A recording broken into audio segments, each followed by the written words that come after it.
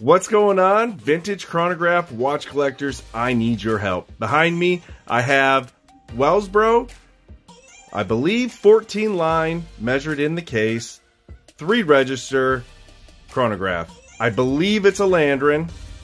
However, what I've been finding isn't 100% the same thing.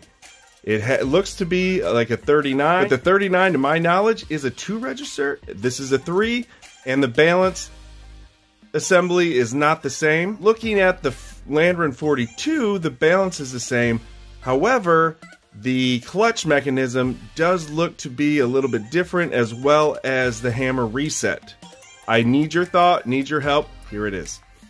If you or anyone you know can identify this watch, I would love to know. Please comment and help me out